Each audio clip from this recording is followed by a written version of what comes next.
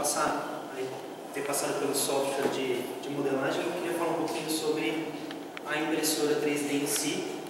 Né? A, a primeira impressora 3D ela surgiu na década de 80, só que ela é bem, era bem diferente da tecnologia que a gente está apresentando aqui hoje, que é a de filamento plástico, né? de fundição uh, de filamento, fabricação por filamento fundido.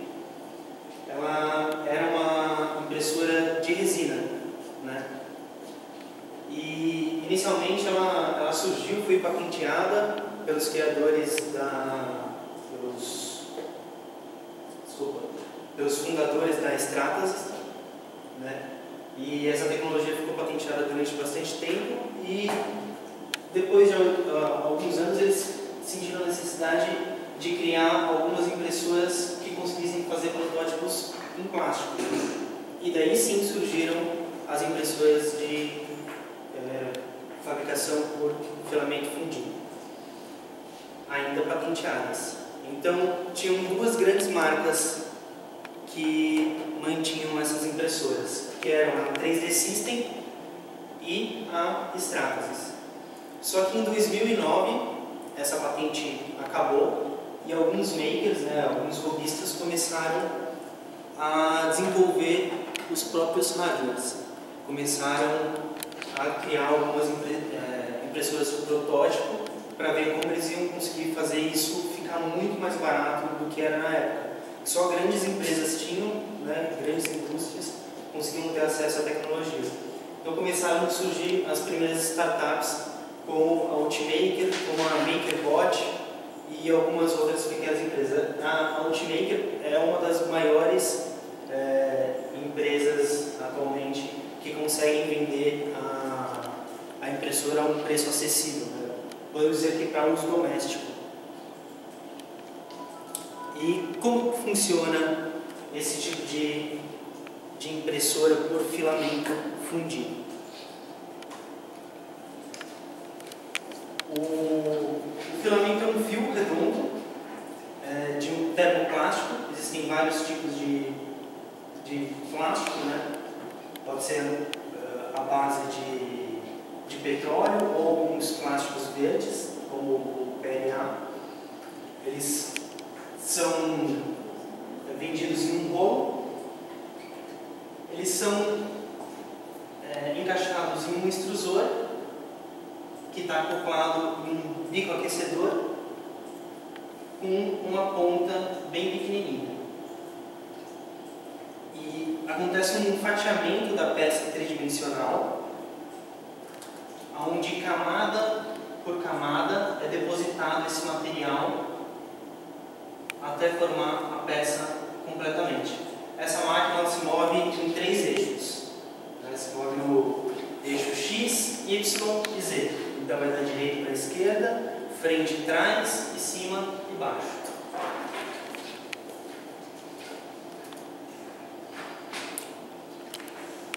E a partir disso, a prototipagem ficou muito mais fácil muito mais rápido, muito mais rápida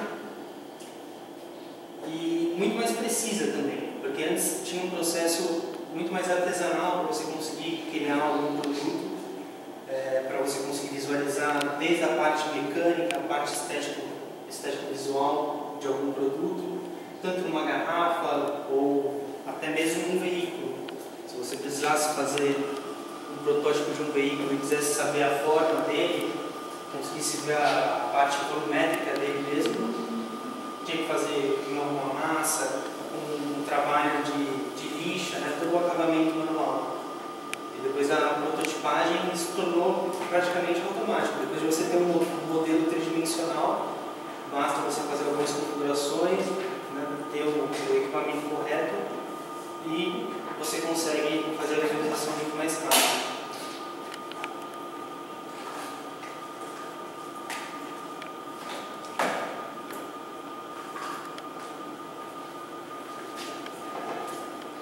Existe também um tipo de arquivo específico que é usado na impressão 3D. Depois de você fazer todo o processo de, de modelagem, você precisa converter o seu arquivo para um arquivo STL. É, essa sigla ela não significa nada, é, não, não tem nenhum tipo de definição. Algumas pessoas especulam que como ela surgiu junto com a primeira impressora que era do tipo né, estereolitográfica, né, de estereolitografia de resina, eles associam né, o STL com estereolitografia. E como esse tipo de arquivo ele é um modelo matemático baseado em triângulos na superfície do, do modelo, então o modelo é, ele é todo liso e quando você gera esse arquivo STL, ele faz cálculos matemáticos que geram triângulos na superfície do objeto, é, definindo toda a geometria desse, desse objeto. Os triângulos, eles podem também ser dimensionados né, maior ou menor, definindo a qualidade desse objeto. Às vezes você precisa de uma qualidade muito grande numa peça complexa, então você consegue aumentar a quantidade de triângulos, diminuindo o tamanho deles, ou às vezes é uma superfície super simples, você consegue fazer uns triângulos maiores, deixando o arquivo mais leve também. Tem um outro nome que eles usam também, que é o Standard Triangle Language, pode ser usado, só batizaram assim, porque tem esse padrão de, de triângulos na, na superfície, então cabe bem para o nome STL.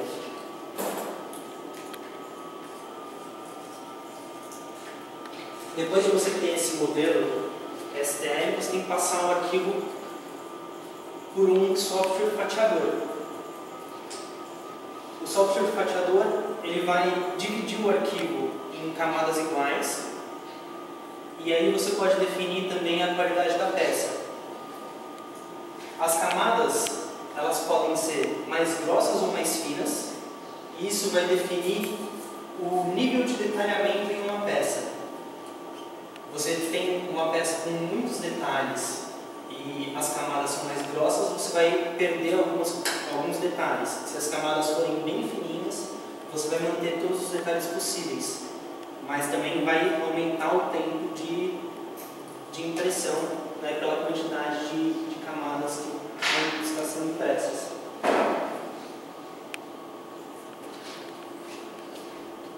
Existem vários softwares de, que fazem esse processo.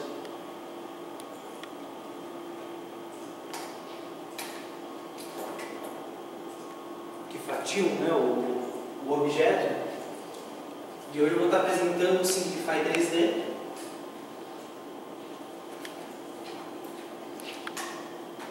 É um software super acessível.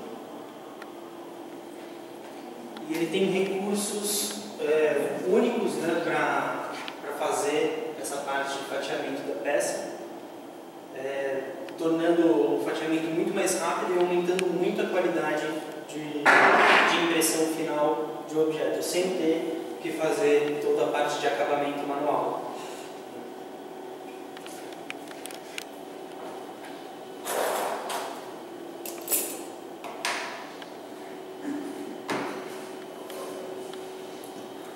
Inicialmente eu vou apresentar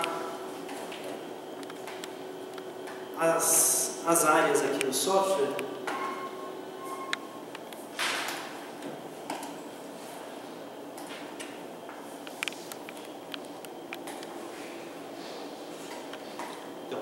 Primeiro campo, essa caixa aqui, é o campo de importação dos arquivos STL. Então, já tendo um arquivo STL convertido saindo do software CAD, a gente pode importar ele. Às vezes, na hora da modelagem, é, o sentido da peça ele não estava correto. Né? Então, quando a gente importou, a peça foi de lado. Isso pode ser corrigido.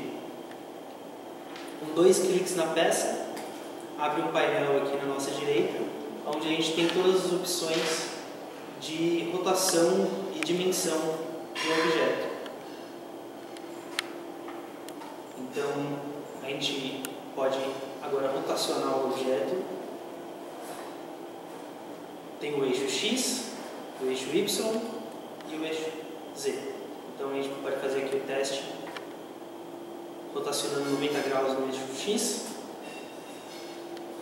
rotacionando 90 graus no eixo Y, rotacionando 90 graus no eixo Z. A gente tem os três eixos para rotacionar a peça. Vamos resetar. Uma outra ferramenta que é muito mais simples para colocar a, a peça na disposição que a gente precisa é o atalho Ctrl L. Segurar o Ctrl, clicar no L, ele vai oferecer a, opção gente selecionar um desses triângulos do arquivo STL. Quando a gente clica nesse triângulo, ele vai automaticamente se alinhar com a base. Né?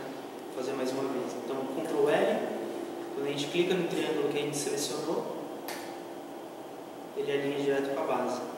Então é muito mais fácil a gente arrumar a orientação dessa peça.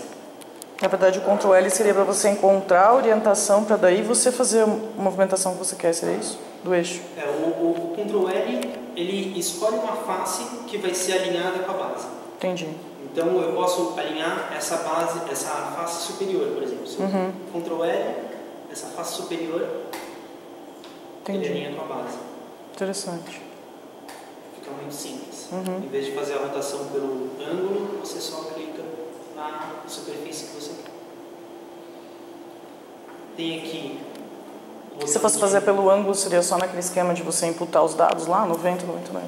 É, Uhum. se fosse no, no ângulo que a gente tem, pode ir, ir ângulo por ângulo aqui, né? Uhum. grau por grau, aliás, e, Uhum. e escolher. Aqui tem o botão Remove para tirar a peça e o botão para centralizar essa peça no meio da nossa plataforma. Então a gente já consegue colocar um objeto, mas até, até então a gente não configurou nenhum dado da nossa impressora. No campo de baixo dos processos, a gente pode adicionar novo processo.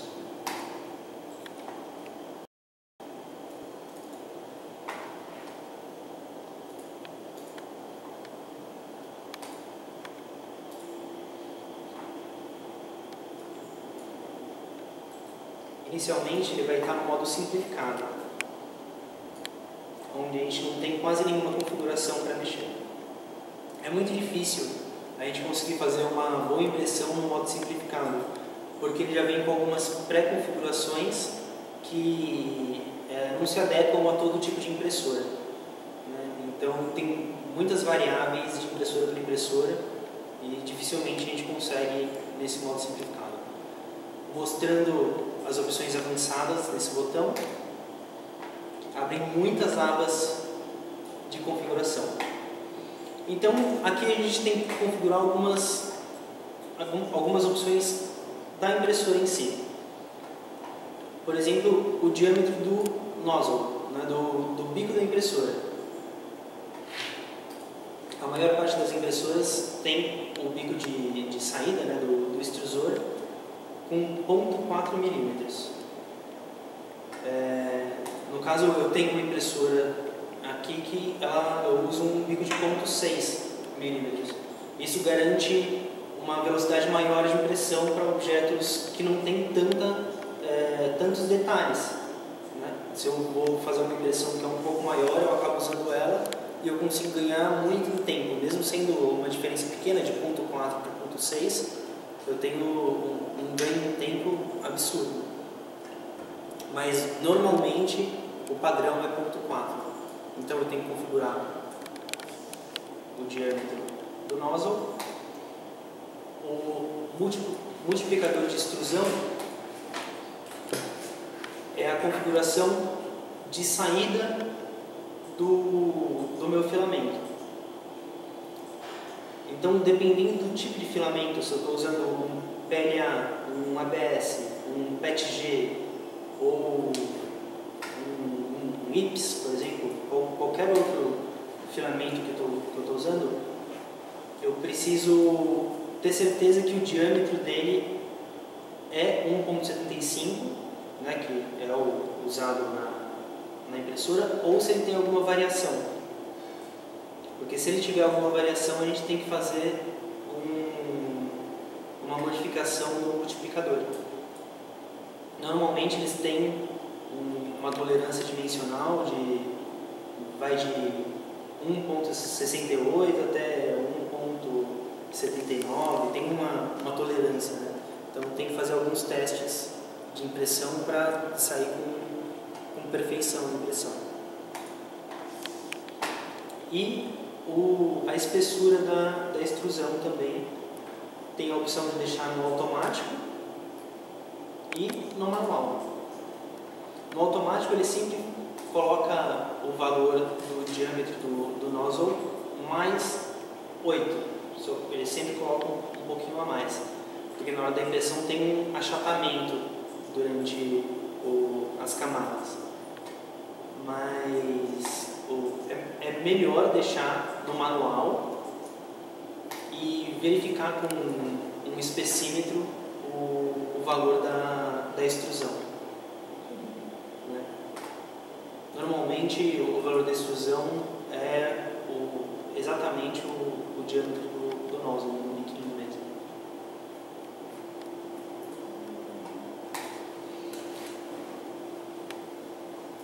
Daí temos algumas configurações de, de retração.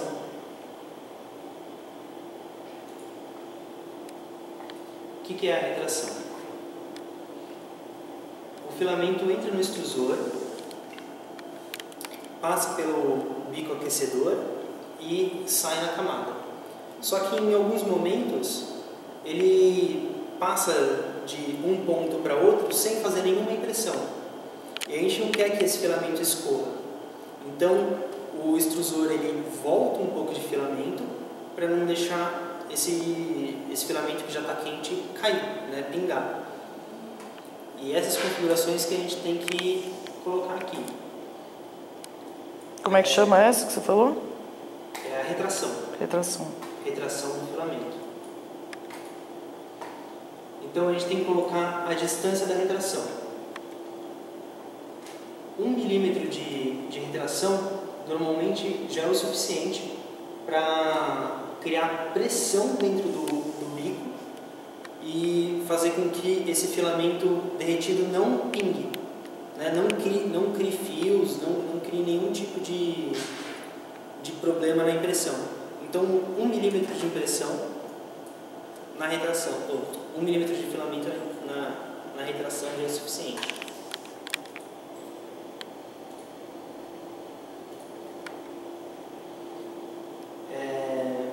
outra configuração que tem é uma distância é, de levantamento, é o lift desse, desse nozzle. Né? Ele também pode levantar o, o nozzle para ir até um, um outro ponto de impressão. Imagina que a gente tem duas torres. Então a gente está fazendo uma impressão aqui, ele terminou uma camada e ele vai para outra torre fazer uma outra camada. Para ele não esbarrar nessas camadas e deixar uma marca, ele pode fazer uma leve levantadinha, ir até o outro ponto, abaixar e fazer a impressão. Então ele sempre tem uma levantada de segurança.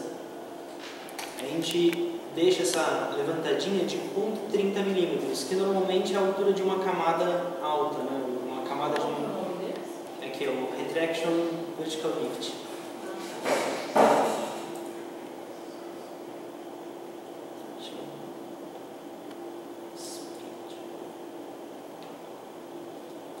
velocidade da, da retração também, que é muito importante. Se essa retração ela for muito lenta, a impressão vai parar para acontecer a retração. Então ela tem que ser é, no mínimo uns 60 milímetros por segundo para não, não, não, acontecer essa, essa para na, da, da impressão e o bico está quente, então ele vai ficar em cima da impressão e vai causar alguma bolha, vai causar algum, algum problema né, de, de acabamento na peça que está sendo impressa. Mas é sempre 60 ou não? Pode ser mais ou menos?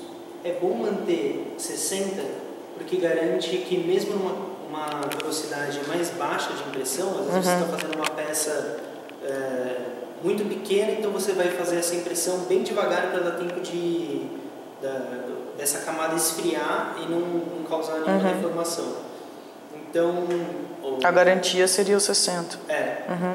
Porque se a gente coloca, por exemplo, uma retração com uma velocidade 20, né, bem baixa, e faz uma impressão com velocidade baixa, ela vai acabar parando a impressão, fazendo o retract, e daí o bico vai ficar em cima da, da camada. E qual a consequência se for um pouco mais rápido, ao invés de 60, 70, se por exemplo? Se for muito mais rápido, o, o, o fuso trator, né, a parte do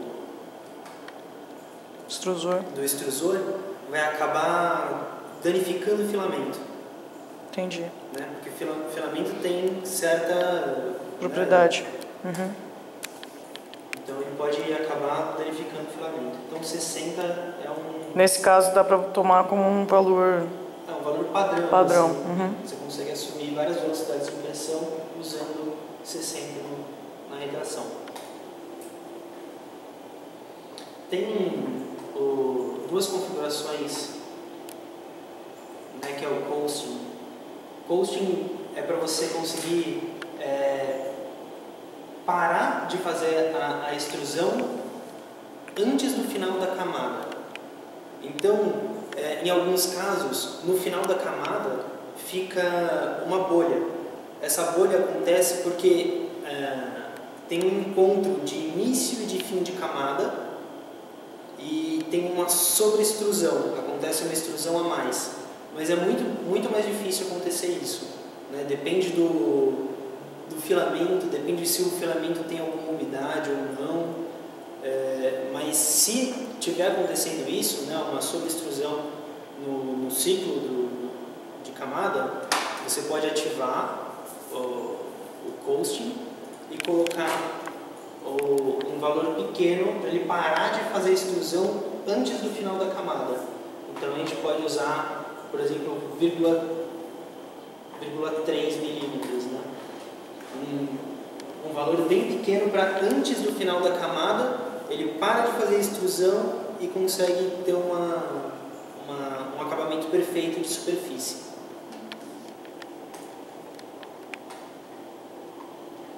A gente pode passar agora para a aba de layer, onde a gente vai controlar a altura da camada.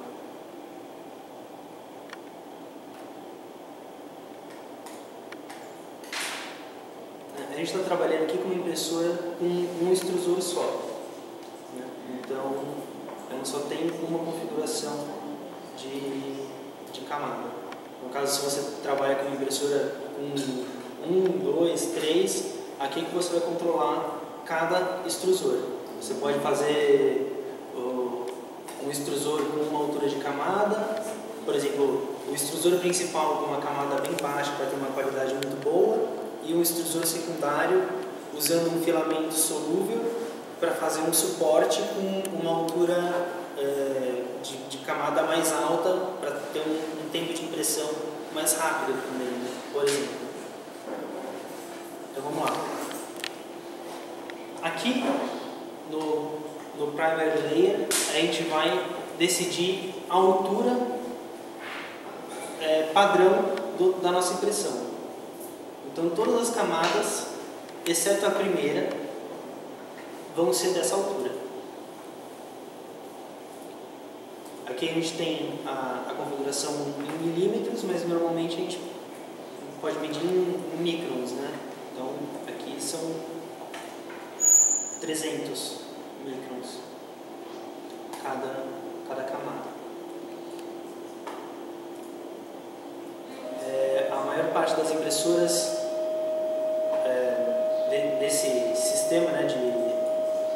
de fabricação por filamento fundido conseguem imprimir até 0,05 camada, que isso daria uns 50 microns.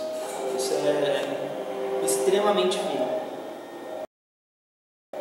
Menor for esse valor, maior é a qualidade, é? Maior é a qualidade, maior é o tempo também de impressão, mas a superfície é, é extremamente lisa. né? O- essa textura que é criada na, na impressão 3D é, é a variação, o- a, a camada que é colocada uma sobre a outra é redonda né? e ela tem um achatamento. Então são duas camadas uma em cima da outra com uma diferença entre elas do achatamento. E quanto mais fininhas as camadas, menor a gente consegue sentir essa diferença entre as camadas. né? Então mais eh, maior é a lisura entre as camadas. Então depende do, do tipo de peça, né? Se, se for uma peça é, só para algum tipo de, de estudo estético ou se for uma peça funcional, consegue definir aqui. Aqui no Top Solid Layers, a gente vai escolher quantas camadas são ah, é, cobertas completamente com, com, com layers, ou, desculpa, são preenchidos completamente. Então, a gente tem os perímetros e tem a parte interna da peça que é preenchida parcialmente normalmente. Mas a gente pode escolher. ah, eu vou mostrar na prática para ficar mais fácil. Aqui eu fiz um fatiamento rápido. A gente tem essa superfície desse suporte de celular. Eu quero que ele seja preenchido. Mas essa peça é uma peça parcialmente preenchida dentro porque eu quero não gastar muito material e que ela seja leve. Mas para garantir um bom acabamento superficial, eu tenho que ter algumas camadas preenchidas totalmente aqui em cima. Então eu coloquei três camadas. A parte interna dela tem um padrão de linhas retas e só três, as três últimas camadas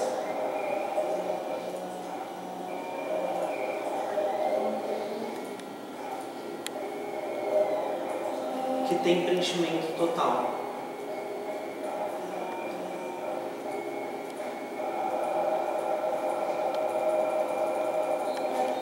Deixa eu só colocar aqui. Layer. Fazer um corte de peça.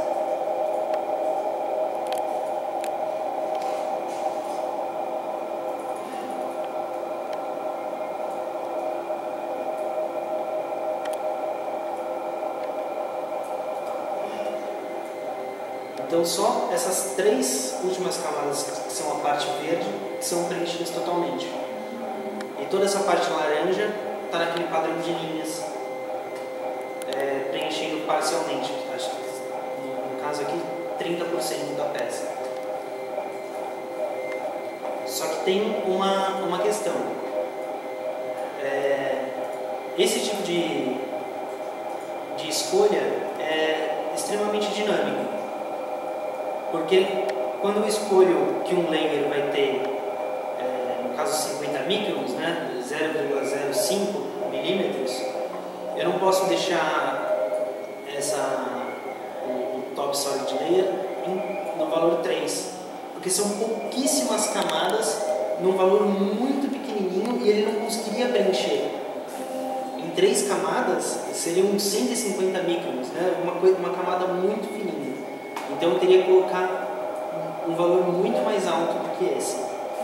Então tem essa regra de quanto maior é a camada, então se for ponto 3,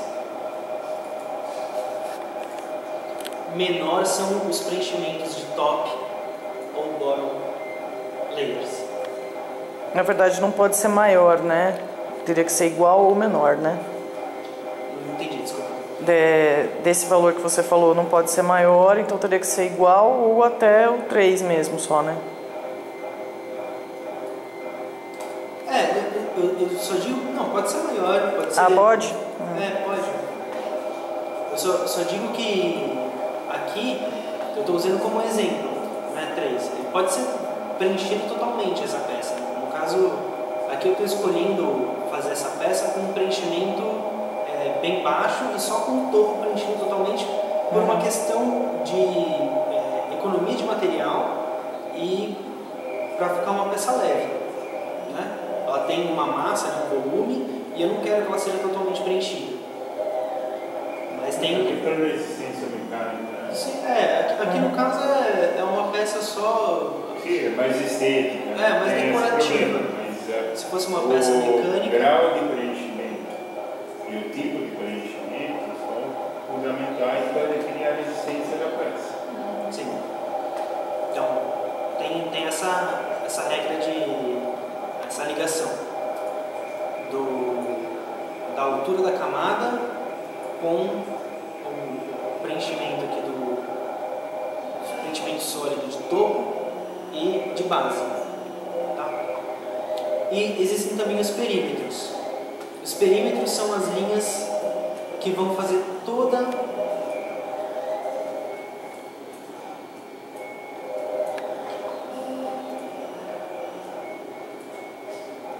toda a volta da peça, né? São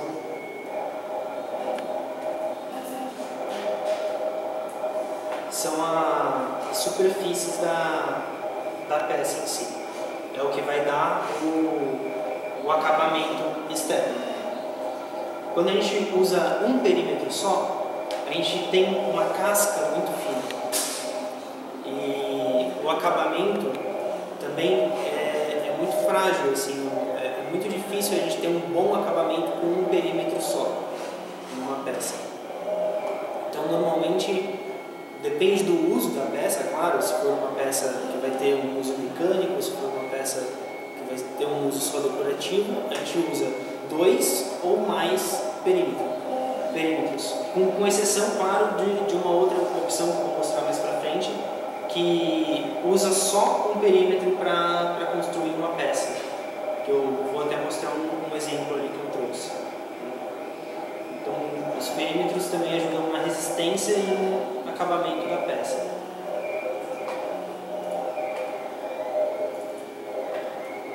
E toda, toda impressão depende da primeira camada.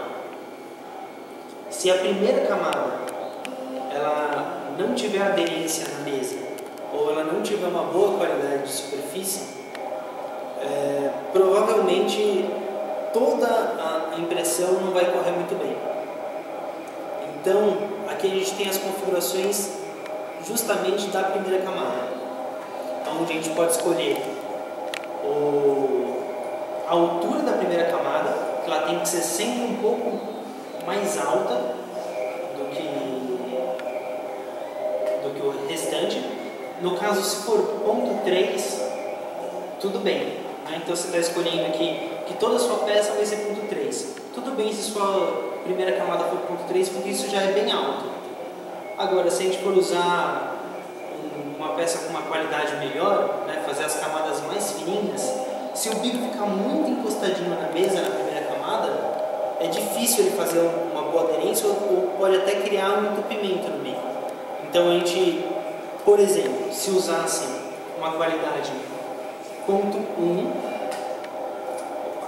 ponto 1, que são 100 microns, a gente aumentaria a porcentagem da primeira camada para 300.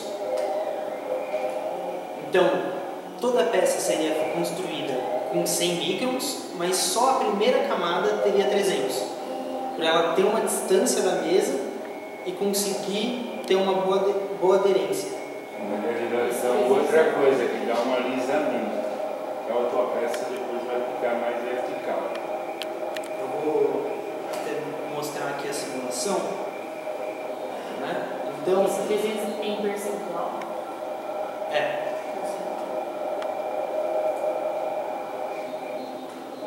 mostrando aqui a visualização.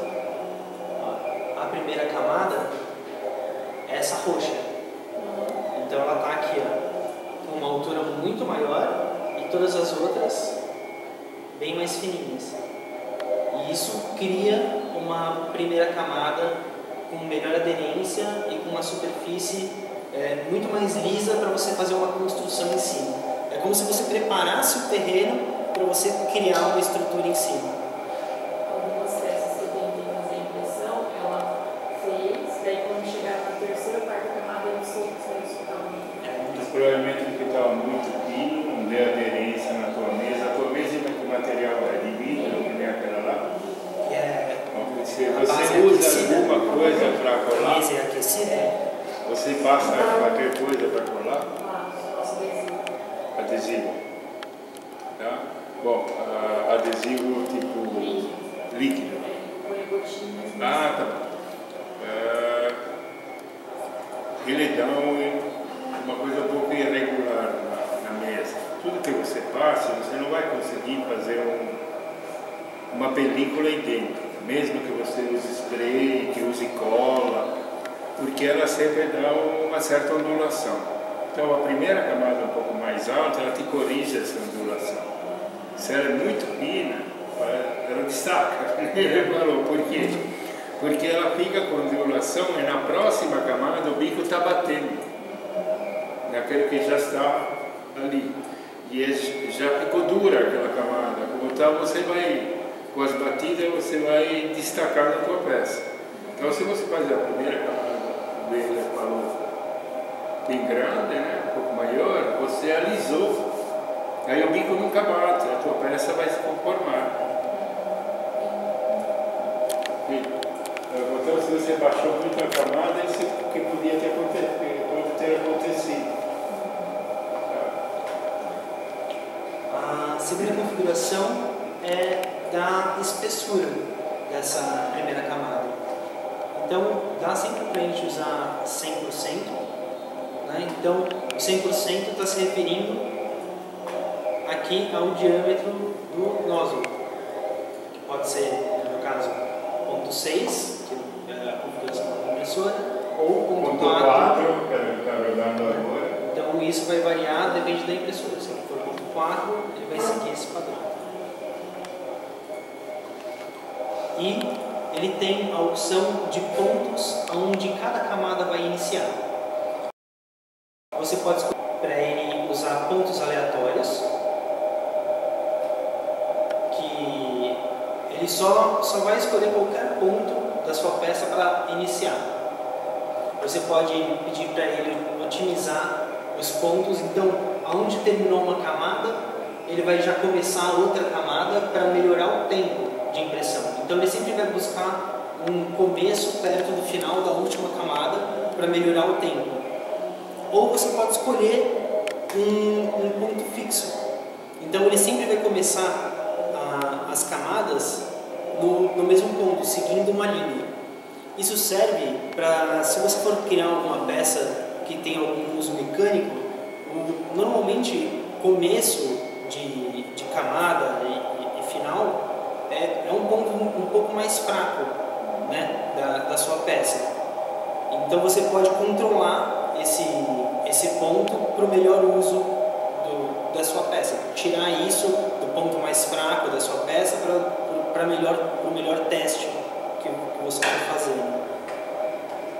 Aqui você controla então no eixo X e no eixo Y.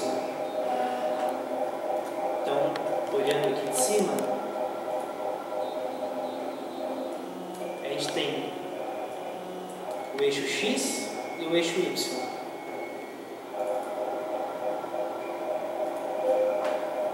Aqui no meu caso está 75 e o Y 0. Então o Y está no 0 e o X está no 75, tá? Mais ou menos aqui. Então ele vai fazer em relação ao centro. O centro da sua mesa traçado uma linha reta até a coordenada que você deu. Mais ou menos aqui. E daí todas as camadas vão iniciar nesse ponto.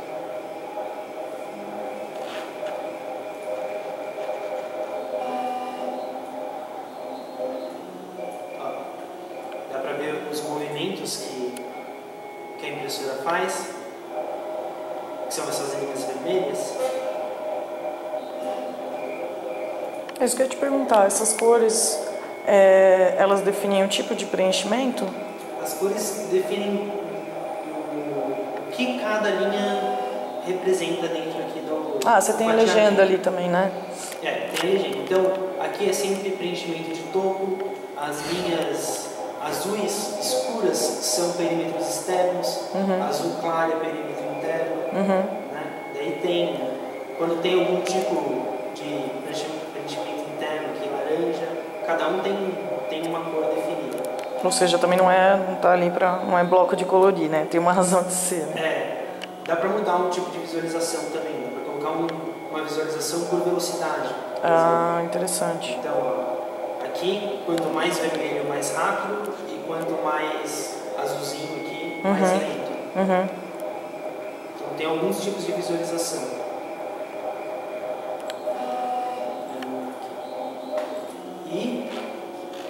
Algumas visualizações aqui, por exemplo, as, os movimentos de, de travessia onde ele não está imprimindo. Né? São esses vermelhos. Daqui para cá, ele vai fazer uma retração. Então, se a retração estiver bem, bem configurada, não vai criar nenhum tipo de problema. Aqui também, né? esse ponto para cá.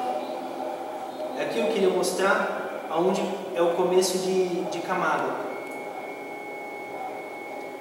Esses pontinhos são pontinhos de retração. E aqui são inícios de camada. Que batem com uma coordenada x75 relacionada ao ponto zero. Que você também pode alterar se quiser, né? que eu posso alterar. Eu posso colocar qualquer coordenada dentro da minha mesa e daí ele vai começar todas as camadas pela coordenada que eu coloquei. Uhum.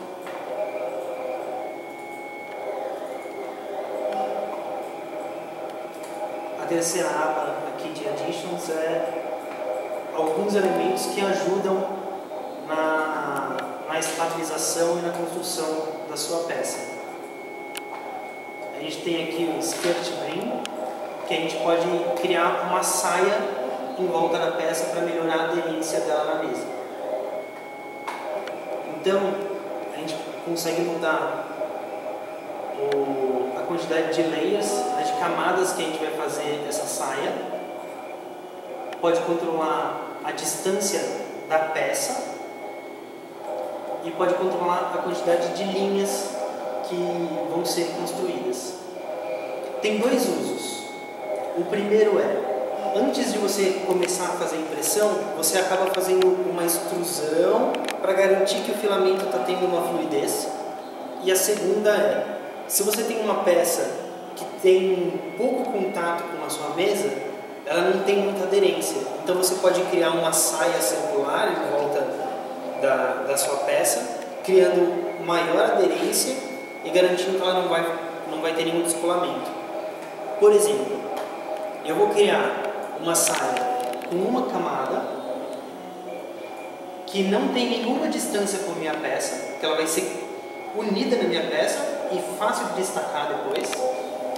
Então, zero de distância da minha peça e que tenha é, 10 outlines, que tenham 10 linhas. Eu vou dar um OK, eu vou fazer a simulação para ver o que acontece. Toda essa área roxa é a saia. Se fosse uma peça bem pequenininha e eu não tivesse muita área de contato, isso ia garantir que minha peça ficasse bem firme na, na mesa. Então, eu não ia ter um problema de descolamento, por exemplo. Mas o que faria ela destacar fácil depois? Que você depois quer tirar esse, essa saia, né? Ah, então, para tirar a saia da peça, é, como é uma única camada, e essa camada tem só né, 0.3 milímetros, 300 microns, você tira na mão, assim, facilmente, você destaca ela da peça. E você não cria nenhum tipo de resquício na peça também. né? É, por exemplo, eu tenho, eu tenho aquele, aquela se, peça aí. se o material é seco, tipo PLA, ABS, É. essa aqui ele falou, ela sai perfeitamente. Sim. Antigamente não, evitar nenhum risco, nenhuma coisa na peça, que a tua peça aderir melhor. Por exemplo, você está usando um TPU flexível, material, um TPE, Ah, sim. Aí você vai ter que cortar. Então eu fiz com PLA ABS, só que daí eu acho que deve ser a parametrização. É, E pro- eu não consegui tirar de um estilete. Ah, mas aí provavelmente você botou mais que uma camada nisso, ou uma camada muito, muito alta. E qual a temperatura que está na sua mesa? A mesa acho que em torno de. Agora eu não lembro, faz tempo, 175, eu acho. Então, pode ser isso. O ponto de. de Onde que eu olho? Vendo? Aqui nas temperaturas na frente. Que aqui tem a primeira, as primeiras com 270. Segunda camada, a partir do segundo. Não, aqui é a camada. A mesa, né? Então, É, a mesa está na mesma aba de temperaturas. Tem a temperatura de extrusor e a segunda temperatura. ah, 95. Então, o PLA, por exemplo, ele tem um ponto de fusão muito baixo. Então, se a temperatura da sua mesa estiver muito alta, ele vai acabar fundindo essa saia com a sua peça. E daí vai ficar difícil Então, agora. para tirar. Por i- Porque ele vai acabar derretendo toda a primeira camada. Conforme a, a impressão, você vê que você vai formar uma bolha, né? É, então. É, porque tá muito É, é porque a elevado. mesa está muito quente. Uma, para o PLA, uma boa configuração de mesa, 60 graus no máximo. 60 no De máximo. 50 a 60 graus. Eu tenho uma tabelinha que passa por e-mail tá, com as temperaturas dos vários materiais. Na realidade, o PLA é um material muito, muito seco, mas é um material de baixa temperatura. O ABS, por exemplo, que usa essa temperatura, 95, 100, que é um material sempre seco, mas de alta temperatura. Ele injeta 20 graus acima. E ele precisa da mesa muito aquecida porque ele contrai mais. Então eu tenho que dar- não deixar ele contrair, senão se descola da mesa. Mas no caso do PLA, o teu problema é a mesa muito alta. Sim. Tá? Então tem, tem essa opção de você conseguir fazer a saia. É, a gente vai chegar no ponto da temperatura, né? Ainda. Mas voltando agora na- nas configurações de, de saia. Tem também ah, as opções de, de raft, né? Que ele vai criar uma plataforma antes da sua impressão. É, também, se você tem uma impressão que não vai ter tanta aderência na sua mesa, é, o plástico, no plástico, tem maior aderência do que o plástico no vidro. Então aqui você consegue criar como se fosse uma cama impressa antes da sua impressão definitiva. Eu vou mostrar Ela um fica exemplo. bem coladinha. né? Depois você tira e você vai passar uma lixa. É, aqui são em, em casos extremos quando é uma impressão que tem pouquíssima área de contato mesmo. né? Então você consegue escolher é, a quantidade de layers também no top, né, na parte superior, de base. Aqui tem a, a distância a mais que ele vai criar essa cama do, em relação ao seu objeto. Imagina que a gente está construindo um cilindro com diâmetro 4. Né? Então, se eu coloco aqui que ele vai fazer um offset de 3 milímetros, ele vai construir uma cama com 4 de diâmetro mais 3 milímetros. Então, vão ser 43 milímetros de diâmetro. né? Ele faz um, um offset, não, um- uma extensão de segurança, para ter essa margem de segurança para sua impressão ficar dentro dessa câmara. A primeira camada da sua impressão, ela vai ficar, ela vai ser impressa um pouquinho mais distante também, para ela não ter uma, uma aderência muito forte, para você conseguir destacar essa cama do, da sua peça, como se fosse um suporte que dá para você tirar. Então, é, é legal colocar sempre um, um valor entre ponto 10 e ponto 14, um valor pequeno, mas que dá uma segurança de você conseguir fazer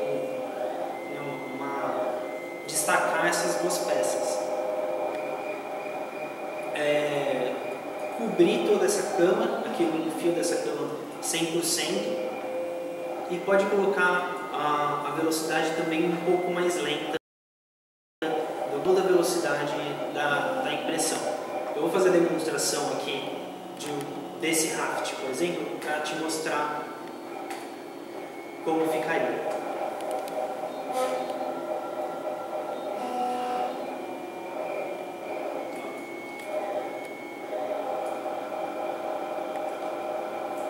A primeira camada é extremamente grande. Tem algumas camadas que preenchem a parte superior dela como se fosse uma cama mesmo, né? Mas a, o preenchimento dela não é total. Então você não gasta tanto filamento, vai ter uma, uma base totalmente alinhada, porque conforme você vai fazendo a impressão, ela vai se auto-alinhando, né? Se você tem alguma, algum desculpa, desalinhamento na, na sua mesa, é, com o achatamento das camadas, você acaba conseguindo uma estabilidade. E garante a, a área de adesão perfeita para sua peça. Em casos extremos, né? se você precisar de uma área de, um, de um- adesão super forte para uma peça que tenha um contato mínimo.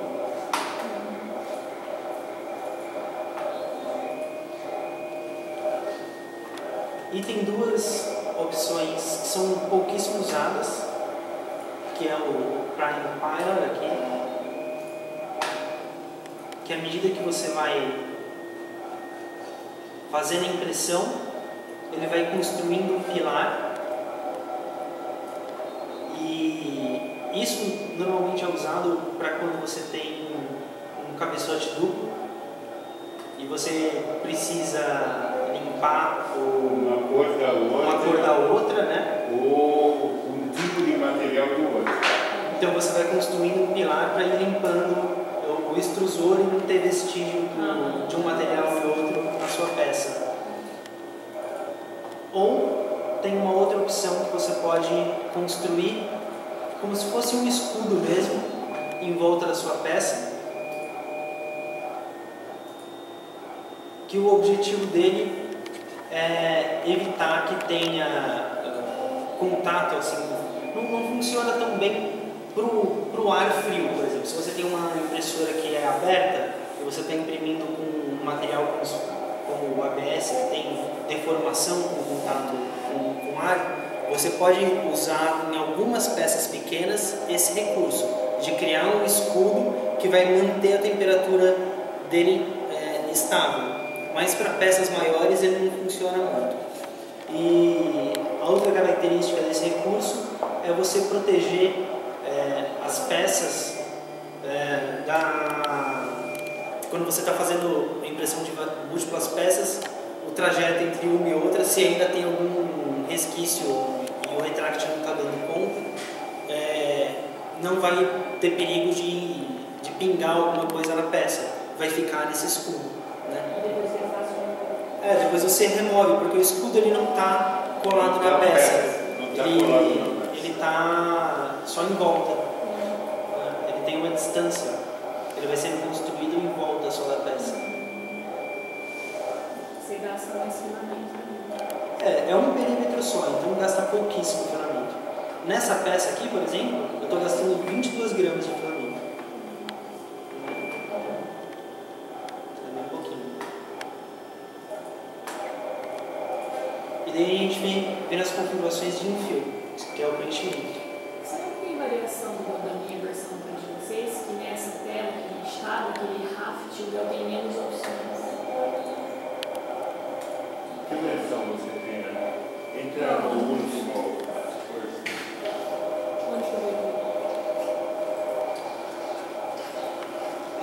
3.1. É, É, tem, tem uma atualização já. Tem, tem a 4, Qual tá? versão 4. Quatro já. É só entrar no site e fazer o, o download da última versão. Ah, porque você tem licenciamento, tem tudo, então entra no site e faz o download da última versão. Tá? Porque ele tem um ganho muito grande, não é o caso da tua máquina. A tua máquina ela tem uma limitação, é um único cabeçote. Se você tivesse uma máquina com dois cabeçotes, você usasse, por exemplo, eh, como suporte um material tipo, por exemplo, estou usando PLA, como está o uso suporte de PA, PDA, suporte desse, é suporte, o material de suporte é muito mais caro que o material da própria peça. Então, o que, ele faz hoje com essa nova versão na 4? Ele construi toda a parte eh, que não tem contato com a peça com o PLA. E só a parte de contato que ele vai gerar o PVA, que custa muito mais caro. Você dá uma ideia, hoje mercado de filamento livre, um PLA bom está no redor de 110, 140 reais. Não daqueles mais estruturados. PVA de 250 a 300 reais por quilo. Então essa diferencial entre as duas versões é importante.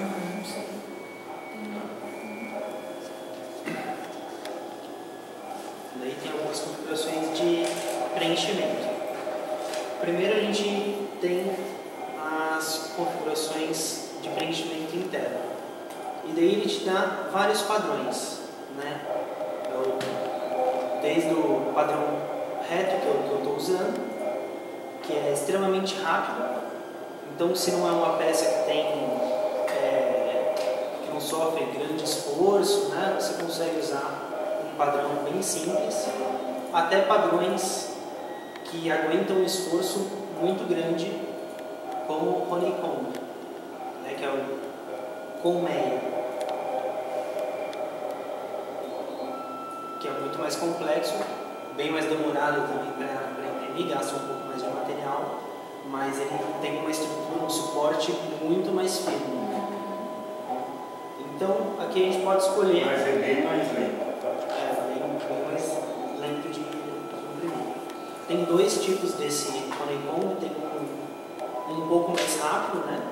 Que ele vai, ele faz só uma metade e depois completa a outra metade próxima, na próxima camada.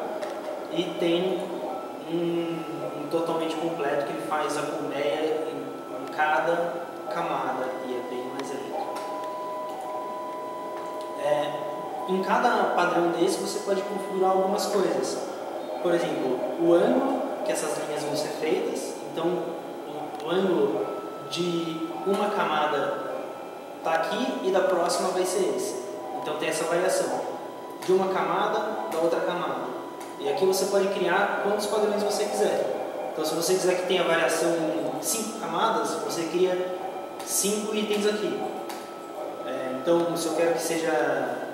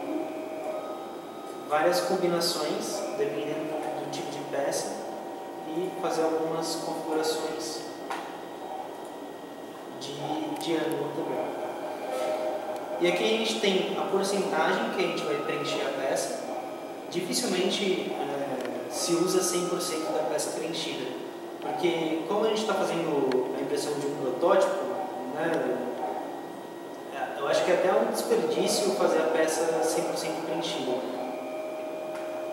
Depende também do uso. Se for fazer uma peça extremamente funcional e quiser testar o, o material, a resistência, né, Depende, porque às vezes você só aumenta o contorno, né? Já tem a resistência que você queria.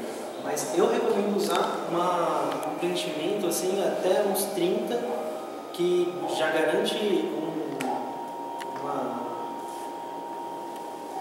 uma qualidade, uma resistência assim, muito boa né, para várias peças.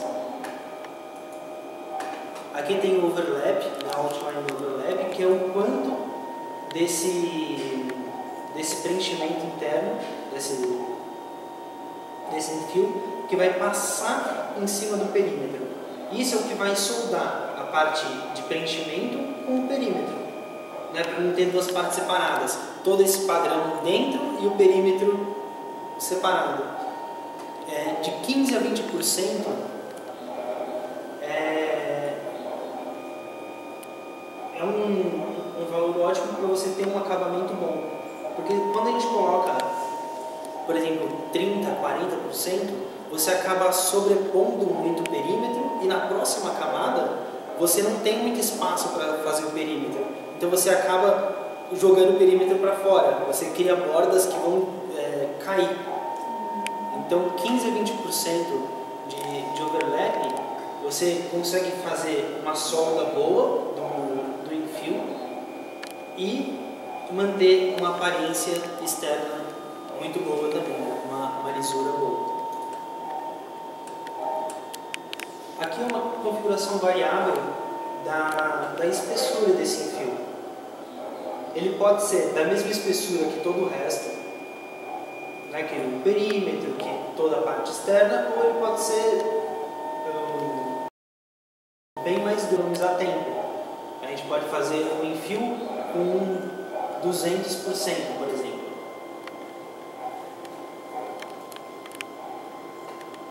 Economizaria tempo? Deixa eu só tirar esse shield.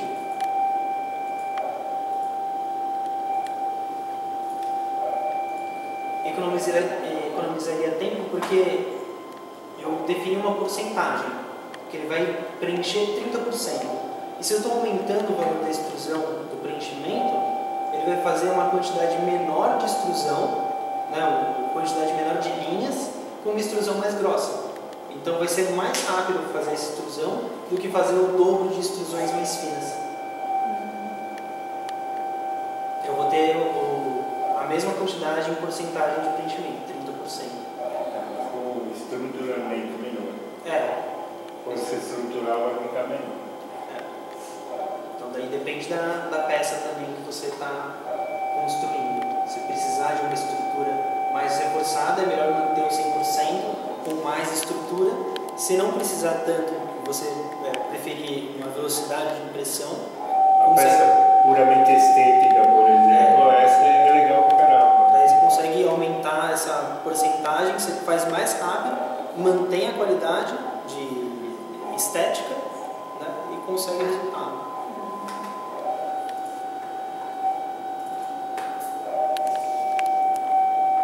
Então, voltando aqui para 100%. Aqui a gente consegue escolher o, o menor espaço que a gente consegue preencher com enfio. Então a gente tem sempre, sempre que escolher o tamanho do nosso bico da impressora. Se for ponto 4, a gente coloca ponto 4, se for ponto 6, a gente coloca ponto 6, porque é o menor espaço que a nossa impressora vai conseguir alcançar. E a opção de combinar esse enfio a cada tantos layers. Quando é um, um padrão que tem eh, diferenças de ângulo, né? por exemplo, aqui o grid. O grid ele vai girando, né? ele está horizontal, fica vertical, horizontal, vertical. Eu posso escolher para ele trocar isso a cada um layer ou para fazer isso a cada cinco layers. Então ele vai fazer cinco horizontais, cinco verticais, cinco horizontais, cinco verticais. Né? Isso também é uma, uma questão de, de estrutura. E uma outra opção daqui, eu estava falando só da, dos preenchimentos internos. O segundo item aqui é do preenchimento externo. Aqui no campo layer, a gente viu o top e aqui bottom, né? os dois, o superior e inferior. E eles têm um padrão também, que a gente informa aqui se vai ser concêntrico ou reto. Concêntrico, ele vai seguindo a forma dos perímetros até chegar no centro. Então, em toda a superfície, ele vai seguir a forma dos perímetros, reduzindo, reduzindo, reduzindo, até chegar no centro. Ele é um padrão que deixa maior. Ele, em alguns casos ele pode deixar ah, a parte estética, se for um círculo, muito bonita, mas dificilmente ele consegue fazer um preenchimento adequado, porque as formas não têm um centro muito bem definido. Por exemplo, esse meio círculo aqui, ele ia- ficaria com fundo. Ele não tem um preenchimento adequado. E isso já não acontece com o preenchimento reto. Ou seja, também tem que pensar no- na, na forma né, da peça que você está fazendo em relação ao preenchimento, certo? Exatamente. Aqui eu tenho um preench- preenchimento uniforme, numa mesma direção, eu posso escolher a direção também, né, do- aqui o ângulo, e eu tenho um preenchimento total. Né? Aqueles 15% de overlap também estão valendo para esse preenchimento aqui superficial. E toda a superfície está preenchida sem, nenhum, sem nenhum espaço faltando.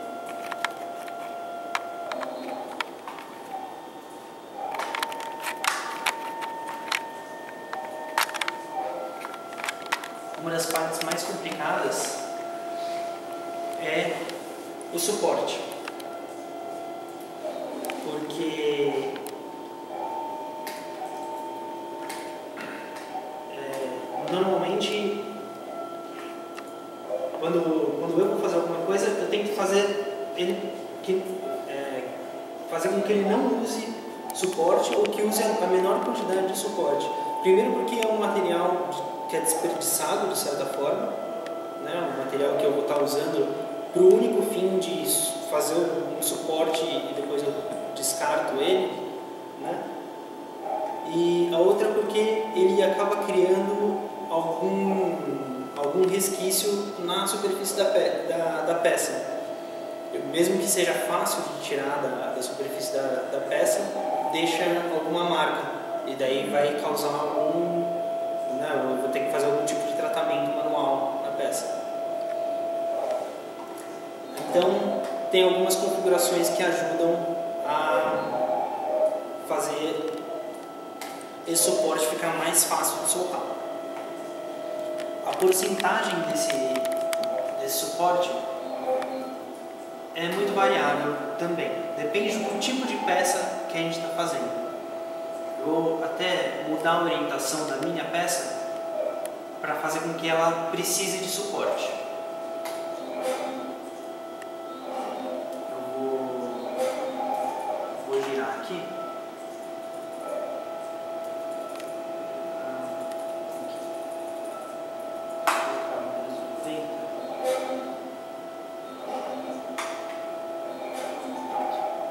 Se eu fosse imprimir essa peça dessa forma, a impressora não conseguiria imprimir essa parte superior sem criar a coluna de suporte, né? porque ela não conseguiria imprimir no ar, no nada. Ela precisa de uma base para depositar o material. Então, se eu mandasse aqui fazer a impressão, ela geraria um bloco grande de suporte. Sozinho. É, é porque eu ativei a, a configuração de geração de suporte. E como a gente configura isso? A gente tem que analisar a peça e ver a geometria. Nesse caso, é um grande bloco que vai ser impresso em cima de um, de um suporte. Então, não adianta a gente colocar uma porcentagem pequena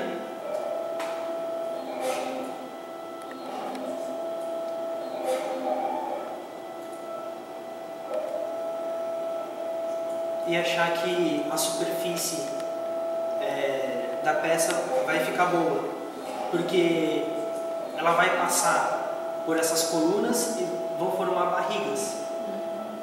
Então a gente precisa de uma densidade maior.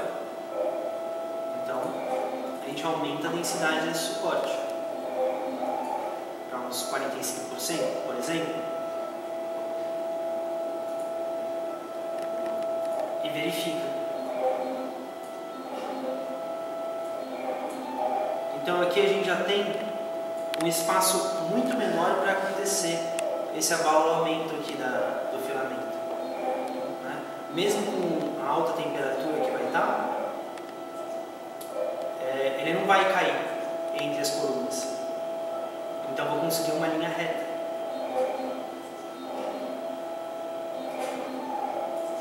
Analisando lateralmente aqui, eu tenho um- uma outra configuração que eu vou mostrar. Meu suporte ele sempre passa um pouco da peça. Eu sempre tenho uma margem. Na, na vista superior.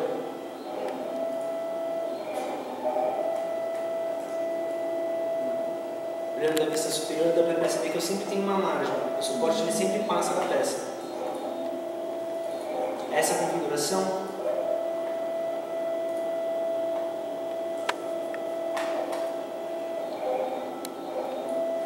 tá aqui. Esse extra inflation. Eu escolho quantos milímetros de, de segurança o meu suporte vai ter. Então, aqui você pode colocar pelo menos meio milímetro, né, que é um porque o seu, você tem que colocar pelo menos o valor do seu, do seu pico, né, do, da impressora também. No meu caso, como eu estou configurando para uma que é ponto .6, eu coloquei ponto .6, porque menor do que isso é muito difícil ela fazer, né, depende do, da direção. E ela pode criar alguns layers de base antes do, do suporte também, que vão ser preenchidos como se fosse aquela cama, o brim, né, que eu mostrei anteriormente, só que específico para o suporte, para ele ter também maior aderência na mesa. Mas dificilmente é, é necessário, porque quando cria um suporte, ele costuma ser bem extenso.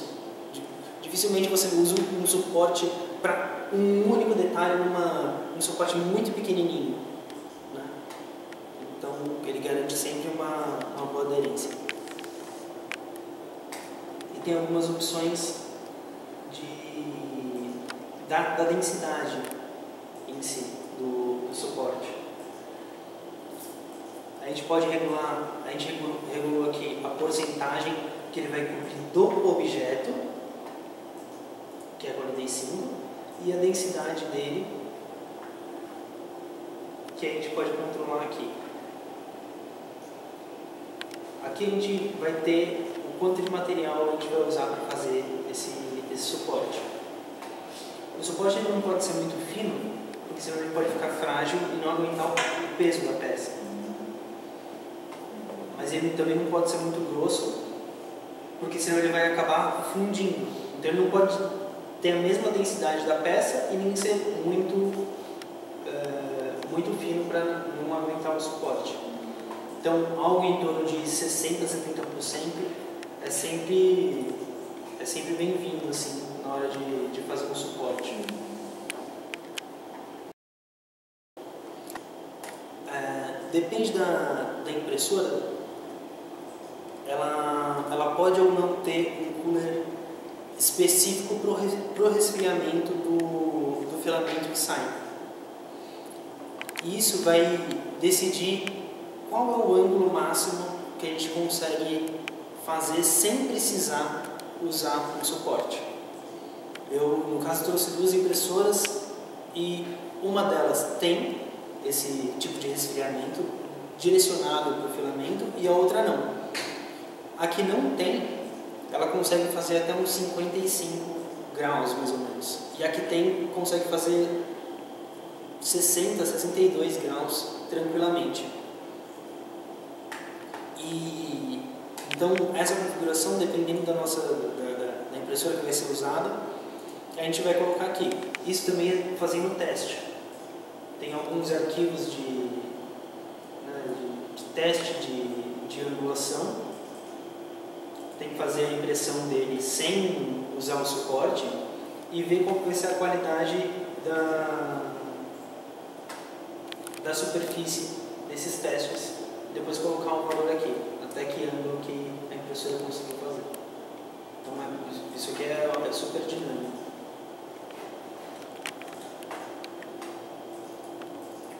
tem aqui a, a opção também do suporte. Né? O suporte pode ser de duas formas. O normal, que ele sai da base ou ele sai de qualquer outra parte da peça.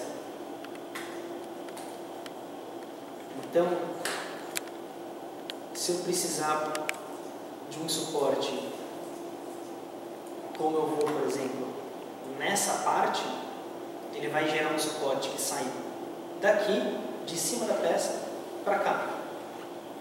E isso vai criar uma superfície com alguns defeitinhos. Mas eu posso também pedir para ele gerar um suporte que só sai da plataforma e não da minha peça. Então eu crio, eu crio um vão livre aqui. Nesse caso não seria bom, né? Por, porque eu eu, conseguiria imprimir a parte de cima? É, ele conseguiria imprimir a, a peça com algum, algum defeitinho aqui, algum probleminha nessa parte. É que essa peça não é o ideal para esse exemplo. Eu só estou mostrando que tem algumas configurações de, de suporte onde você consegue definir que ela pode sair só da plataforma ou ela pode sair de qualquer lugar. Né? Pode sair da plataforma ou de, de alguma parte da própria peça em si. Nesse caso aqui, o ideal seria que ela saísse da, da plataforma, da base e da peça também para conseguir manter tudo no lugar, imprimindo nessa orientação.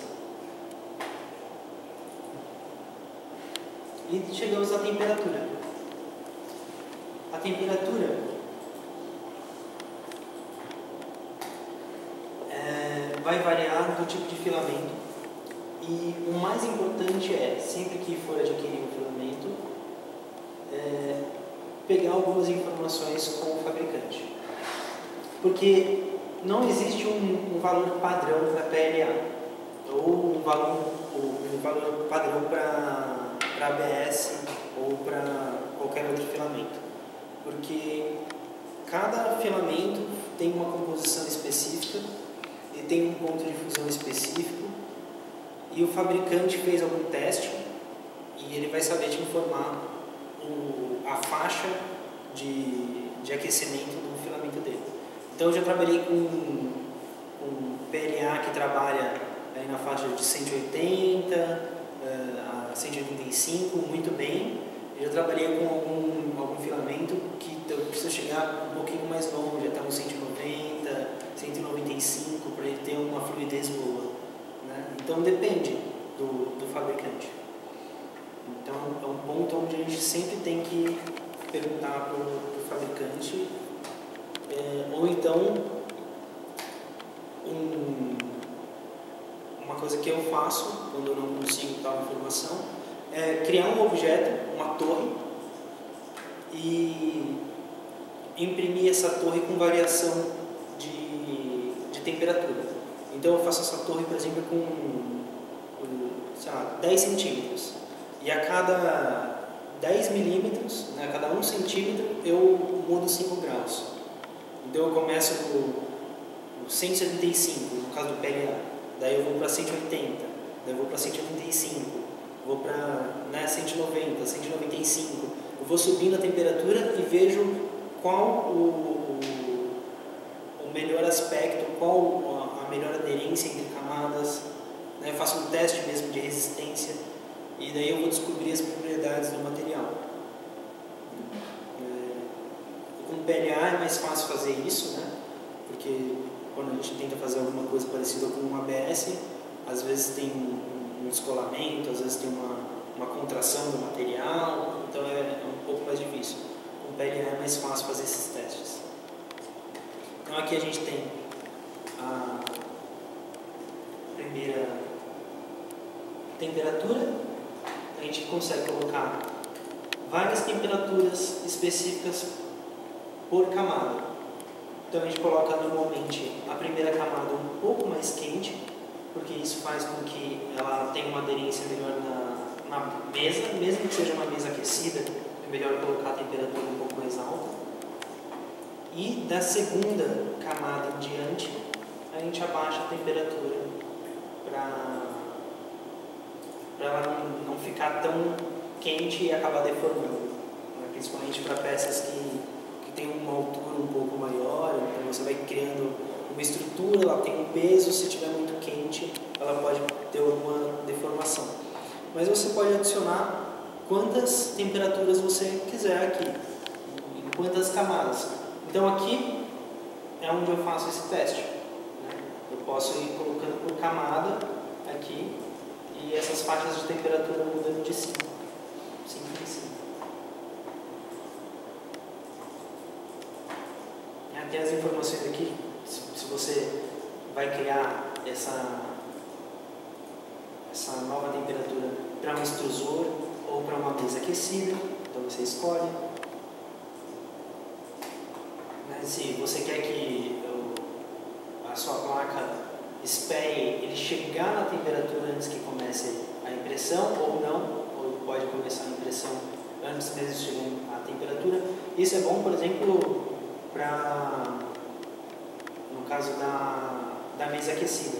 Você pode colocar para esperar o extrusor chegar na temperatura e que a mesa aquecida não precisa chegar na temperatura.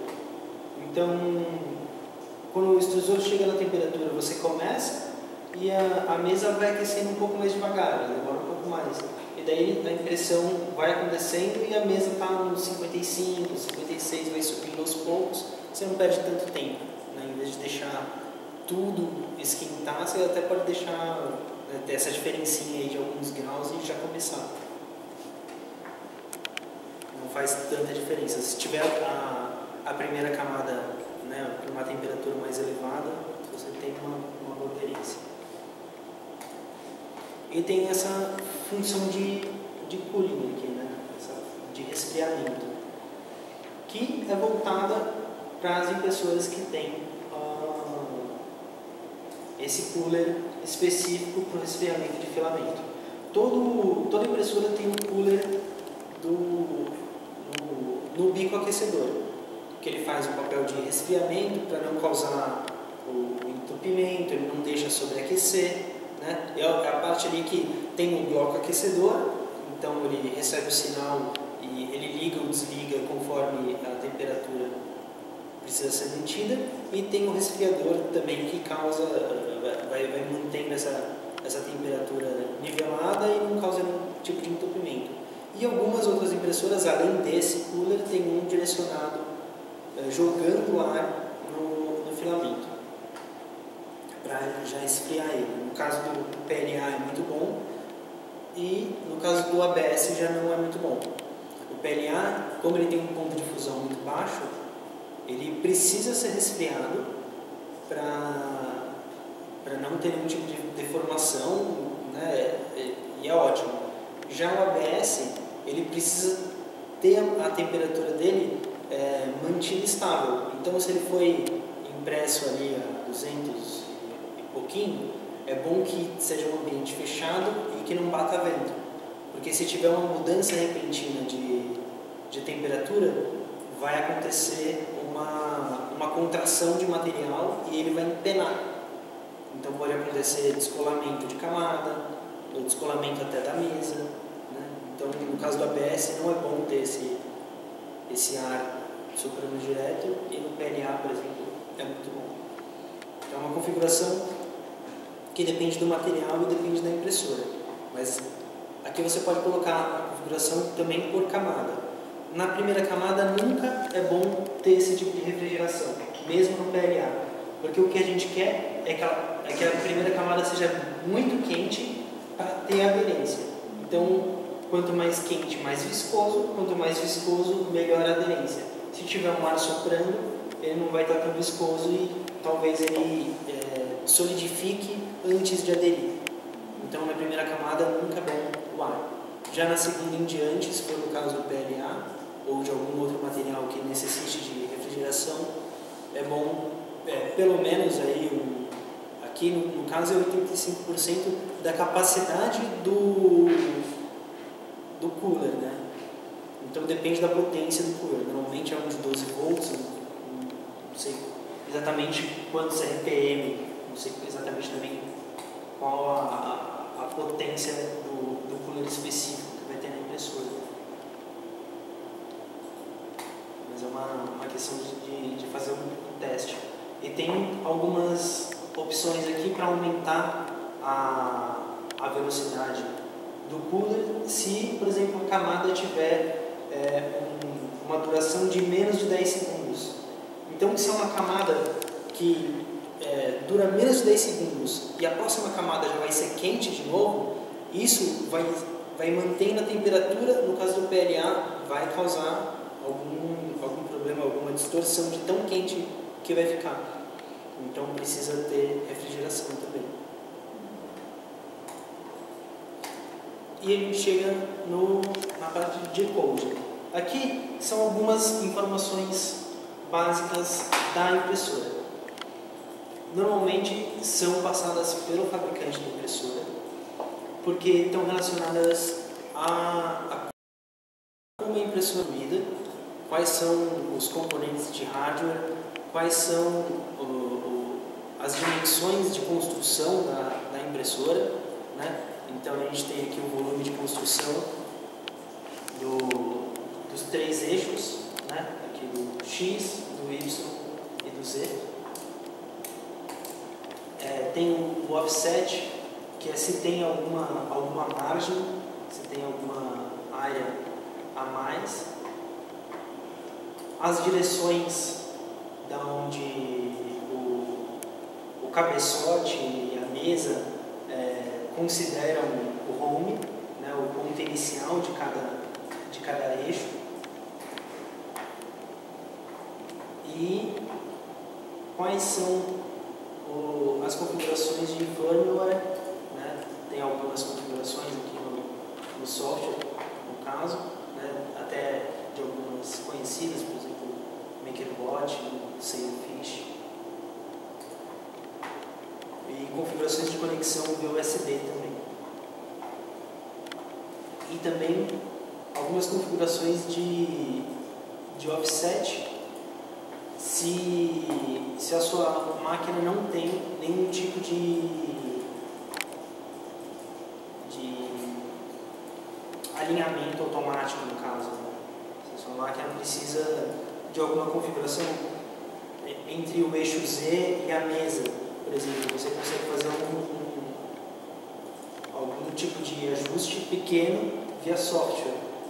Se for algo muito grande também, não compensa fazer via software. Se for algum ajuste pequeno, que se o, o, bico extrusor está um pouco longe da mesa na hora de fazer a extrusão, você consegue ajustar aqui pelo offset do G-Code. E tem os scripts. Também são algumas informações que o próprio, próprio fabricante da, impressora vai passar, que são alguns comandos iniciais da impressora. Novamente, se a impressora tem algum tipo de, de processo automatizado de alinhamento né, do, do eixo Z, alguma coisa assim, o, os comandos vão ser colocados aqui. Por exemplo, o M107 no caso é para desligar o cooler aqui na minha impressora, né, no, usando esse firmware. Tem comando para eu fazer uma pequena extrusão antes da minha impressão. Então isso vai garantir que o meu filamento é, não esteja é, enroscado, que já tenha uma fluidez, antes mesmo de começar a impressão, já, tenha, já esteja pronto. Né? Então tem o, os, os, scripts aqui do G-Code de início, de troca de layer, que pode ser colocado, de retração, de troca de ferramenta, no caso de alguma impressora que possa ter alguma troca no cabeçote, e de fim de impressão, onde ele pode desligar os motores, desligar a, o bloco aquecedor e todos os outros recursos da, da impressora. Gente chega na velocidade. O primeiro item é a velocidade padrão da, da impressora. É o que vai controlar todas as velocidades da impressora. Todas as outras velocidades são relacionadas a essa. Então, é, tem a velocidade máxima de impressão, é, que também depende da, da construção da impressora. Normalmente o fabricante informa, mas a, em média vai até uns 120 a 150 é, milímetros por segundo no máximo, usando essa tecnologia né, de fabricação do filamento fundido. E quanto maior a velocidade de impressão, maior é a temperatura que a gente tem que colocar. Porque se a gente tem uma grande quantidade de filamento sendo extrudado, a gente precisa aumentar a temperatura do bloco aquecedor para conseguir dar conta de tanto material é, passando pelo bloco né, é, e é, tirando esse calor do bloco, né, usando esse calor para ser fundido e depois extrudado. Então, se a gente colocar uma impressão a 40 milímetros por segundo, a gente usa uma temperatura ali de 185, por exemplo, até menos. Se a gente colocar uma impressão a 100 milímetros por segundo, é, depende do tipo de peça, se estiverem longas é, áreas de impressão, essa temperatura já não vai ser suficiente, a gente tem que subir uns 5 graus. Então, em vez de 185, seja uns 190. Já tem que subir. Então, quanto mais rápido, mais quente.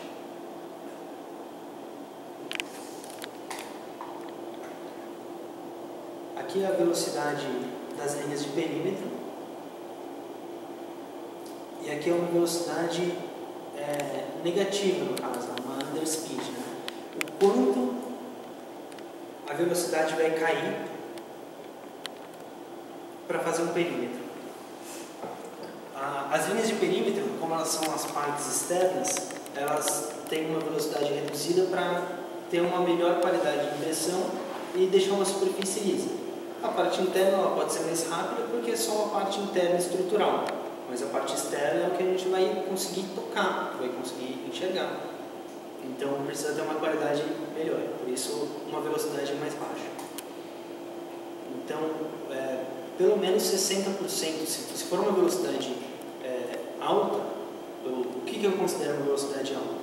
É, 80 milímetros por segundo eu já acho que é uma velocidade alta uma, uma velocidade, é, uma qualidade boa, 60 milímetros por segundo.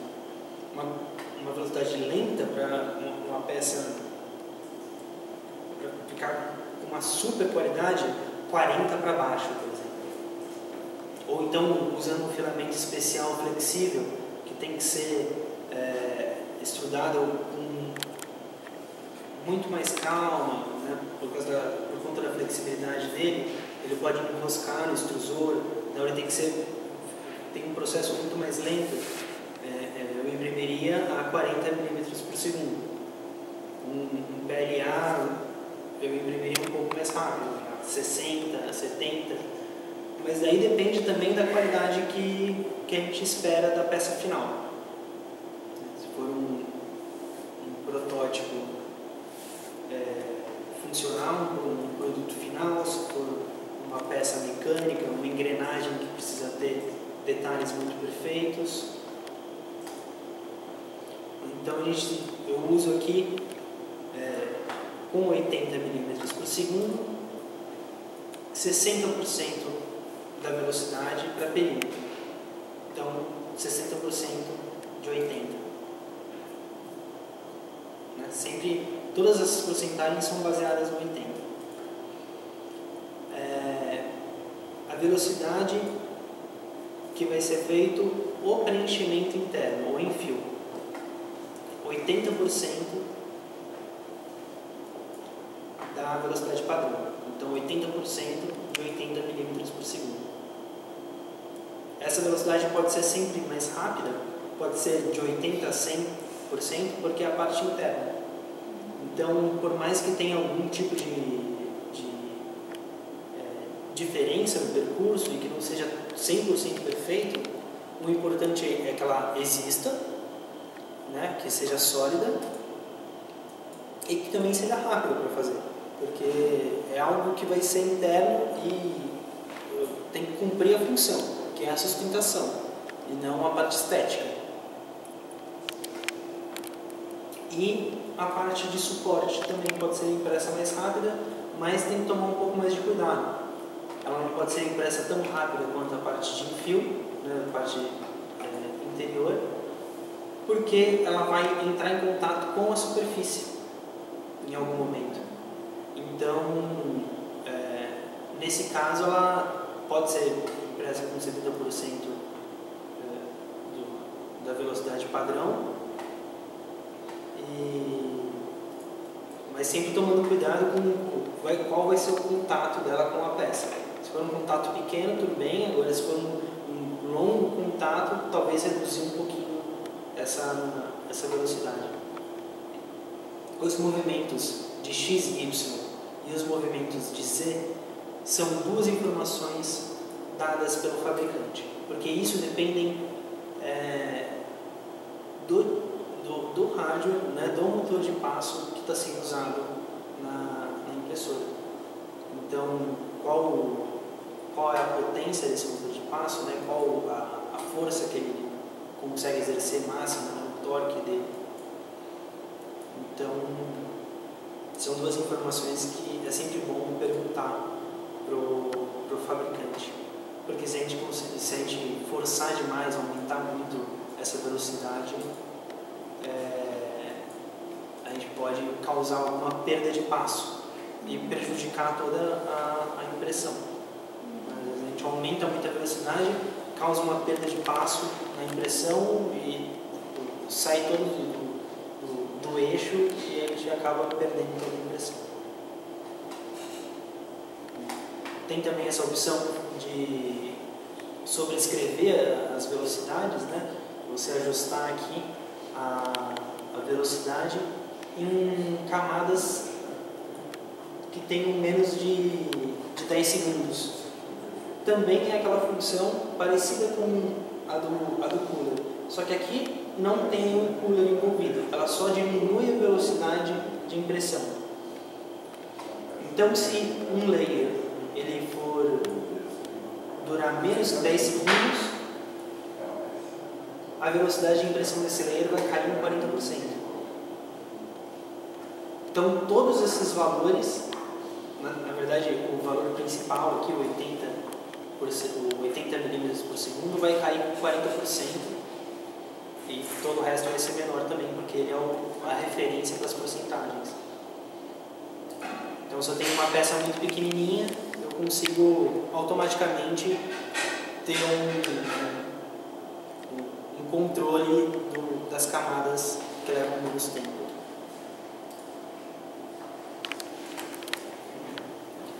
É, em algumas peças eu tenho algumas pontes, né? tem, tem um bridging. Imagina duas colunas e eu quero fazer a impressão de uma linha entre a coluna A e a coluna B. Só que eu não suporte. É, existe um limite para cada impressora é, onde ela consegue fazer isso. É, uma linha de, de um ponto ao outro sem nenhum tipo de suporte. E isso também é um teste que tem que ser feito. Existem algumas peças de teste é, e que normalmente a, as impressoras que têm a ventilação diretamente no filamento se saem muito melhores, enquanto as que não têm esse, essa ventilação no filamento conseguem distâncias de, de sei lá, 2 centímetros, né, uns 20 milímetros no máximo. É, mas eu já vi acontecer pontes de 70 milímetros, sem nenhum tipo de suporte embaixo. Tem um, um bom resfriamento do filamento e fazendo uma impressão muito lenta. Então aqui você vai colocar algumas informações. Depois de fazer o teste, você coloca qual é a área que você consegue suportar. E se vai ter alguma, alguma distância extra ou se vai ter alguma multiplicação na parte do, do extrusor. Se vai, ele vai soltar mais material ou não. Normalmente é melhor que solte menos material, porque se ele está pendurado entre duas torres, é melhor que ele pese menos. Quanto menor ele pesa, menos a gravidade vai agir sobre a massa desse filamento. Então menos ele vai abaular e mais fácil ele vai resfriar também. Então 90% é, é, pode ser uma, uma diferença pequena, mas já ajuda muito a fazer esse tipo de, de ponte. E a velocidade é bom também sempre deixar um pouco mais lenta essa velocidade, porque daí dá tempo de soltar o filamento, resfriar enquanto ele vai fazendo o caminho entre A e B. Então colocar entre 60 e 70% de velocidade. Lembrando que eu estou usando como referência o 80 milímetros por segundo. Se você já está usando uma velocidade mais lenta é, na impressão, pode deixar 100%. Se estiver usando, por exemplo, 40 milímetros por segundo, 60 milímetros por segundo, pode até deixar 100%. 80, 100 milímetros por segundo é bom abaixar uh, aqui no multiplicador de bridging.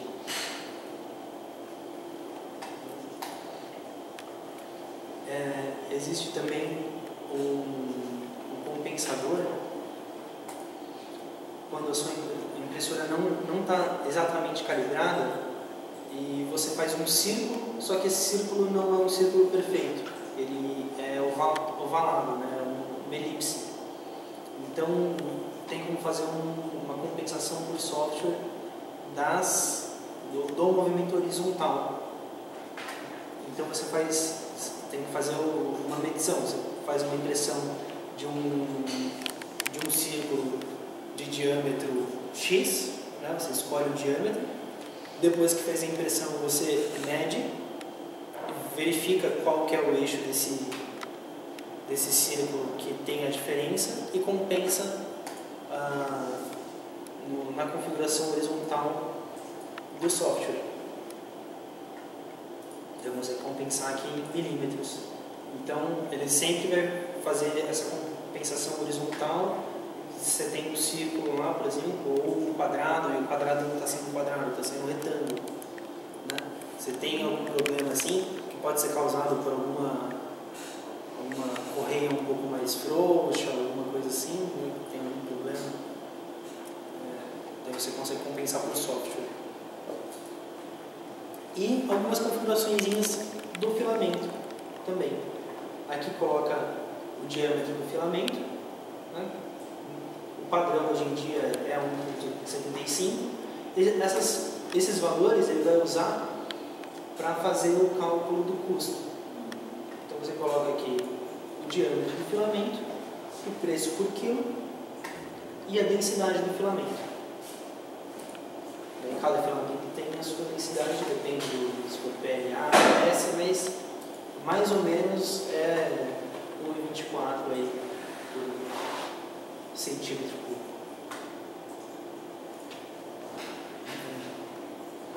Aqui tem algumas configurações de troca de ferramenta, mas são para impressoras que têm é, troca de cabeçote. Essas são algumas informações que já vêm pré-configuradas no, no software, né, velocidade de tração e algumas distâncias para você trocar o filamento ou trocar o cabeçote em si. E algumas outras configurações avançadas, onde você pode definir se o seu processo, por exemplo, eu quero começar uh, a imprimir essa peça, mas eu não quero essa peça inteira. Eu quero essa peça só até certa altura. Eu quero 2 milímetros dessa peça. Então vou voltar ela ao normal, aqui, na orientação correta. Eu achei que ela está muito, muito alta e eu não quero. Então eu vou fazer a impressão parcial dela. Na aba avançada, eu posso pedir para ela começar a imprimir na altura zero e terminar, né, parar de imprimir a, 2 milímetros, a 20 milímetros, por exemplo.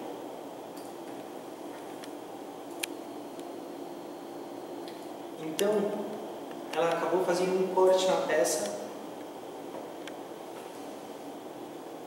a 20 milímetros. A altura normal tem 30, mais ou menos 30. E eu fiz um corte na peça a 20. Sem precisar, sem precisar fazer nenhum, nenhuma alteração no modelo. O próprio software eu consigo fazer alguns cortes. Isso é, é muito bom quando a peça é muito grande e eu tenho que fazer a impressão em duas ou mais peças e depois fazer algum tipo de colagem. Né?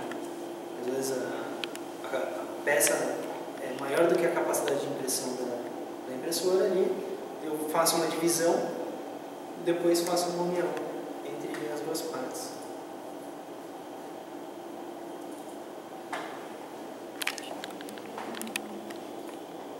Ou posso também fazer o contrário, posso começar uh, a imprimir no alto e ele vai começar a trazer essa parte para baixo. Então eu posso começar no 20 e parar no 30, também funcionaria. Eu posso usar várias configurações.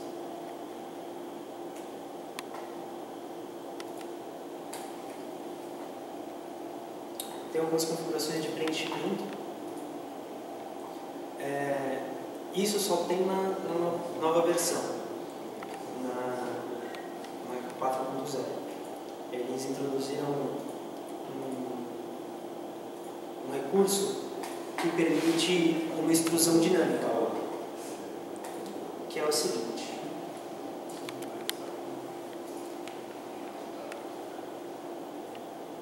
Deixa eu ver se nessa peça eu vou conseguir mostrar.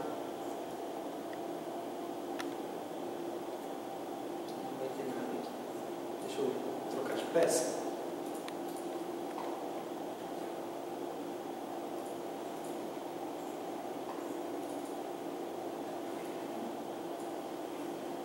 esse bonequinho aqui para mim.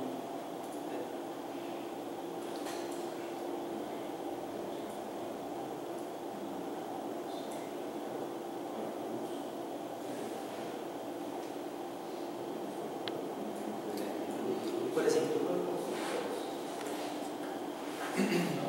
essa peça inteira está sendo é, feita com a impressora com o bico de 0.6 milímetros. Mas eu consigo ter algum controle por software para fazer esse bico trabalhar como se fosse BIC de ponto 4 ou como se fosse um BIC de ponto 8, controlando a saída de filamento. E é justamente isso que eles implementaram nessa nova versão. Para economizar tempo, eles deram esse controle para a gente. Então, por exemplo, nesse símbolo, eu habilitei a opção aqui de, de extrusão dinâmica das paredes e de preenchimento. Aqui eu tenho uma parede grossa. Se eu fosse fazer uh, uma impressão normal, ela usaria dois perímetros. Mas quando eu peço para imprimir, ela usa um só mais grosso. E isso faz com que a impressão fique muito mais rápida. A diferença, por exemplo,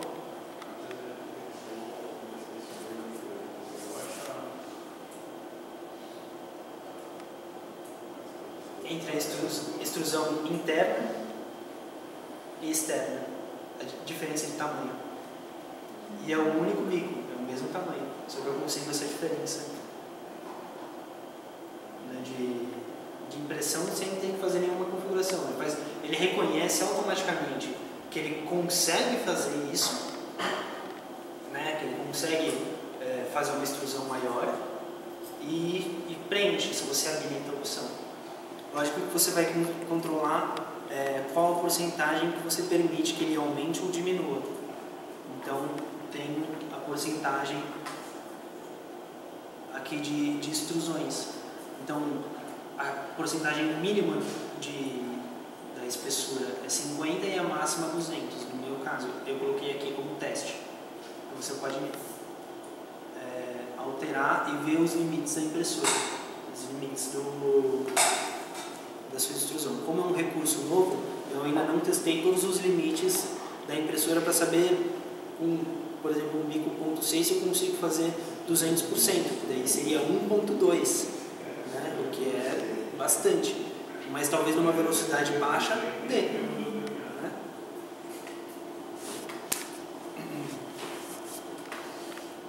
E algumas opções é, para controle é, de, do, dos fios, né? Daquela, dos, das strings. Quando você está usando o, o retract, mas tem alguma coisinha ainda que não está muito certo. Então, tem as configurações para você, por exemplo, só usar o retract quando você está passando pelos, pelos espaços abertos, ou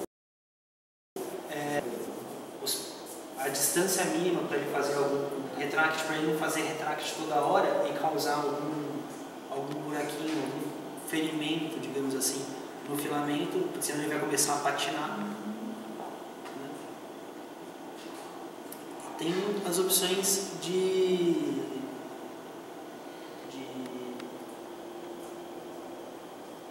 conserto, digamos assim, de um arquivo STL. Às vezes o arquivo ele foi criado, foi gerado, mas ele tem é, alguma, alguma superfície que não está fechada, ele não foi criado muito bem. Então, aqui no próprio software, ele te dá a opção de você descartar esse, esse arquivo ou dele tentar consertar o arquivo também. Bem, bem tranquilo. Bom, essas foram algumas das configurações avançadas.